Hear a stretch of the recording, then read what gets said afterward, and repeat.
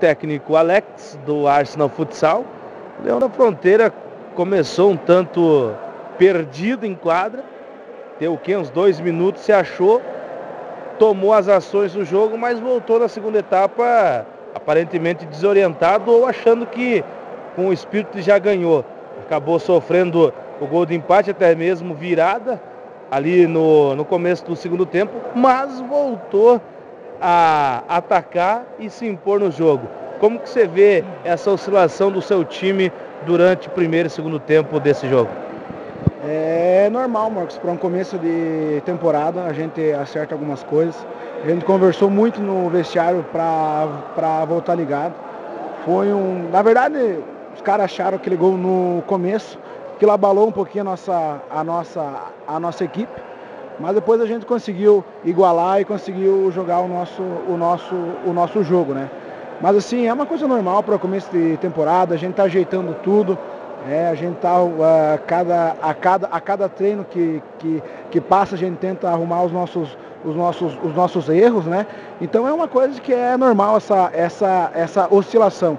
É, dificilmente uma equipe começa é, do começo ao fim do jogo, né, sempre num nível, num, num, nível, num nível muito alto. Eles são uma equipe que estão treinando desde o dia 10 de janeiro, então qualquer espaço que a gente dava para eles é normal, a equipe deles é uma equipe de qualidade. E essa vitória dentro de casa, por esse placar de 6 a 4 você acredita que é o pontapé para o Arsenal deslanchar igual deslanchou do ano passado, que começou um, também de forma conturbada a competição?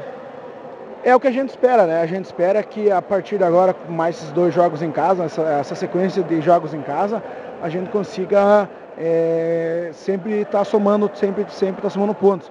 Claro que a gente tem agora duas equipes muito, muito qualificadas né, que a gente vai jogar em casa, mas é o que a gente espera que o fator decisivo que seja a casa, a gente, a gente consiga ajudar, que, que, que, que nos ajude para a gente conseguir é, somar sempre ponto em casa.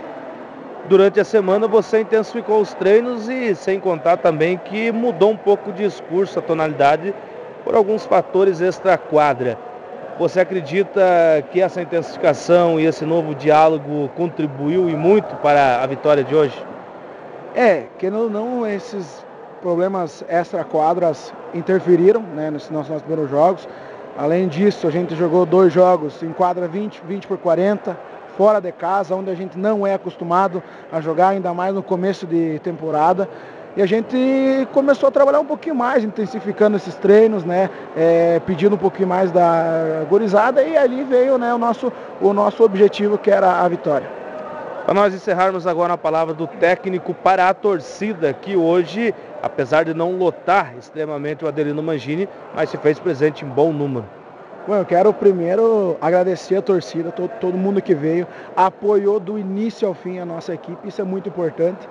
E e como eu sempre falei já ah, muitas vezes, é, que eles olhassem com muito carinho esse ano para o Arsenal e a torcida já mostrou que vai nos olhar com muito carinho e que sempre vem nos apoiando. Né?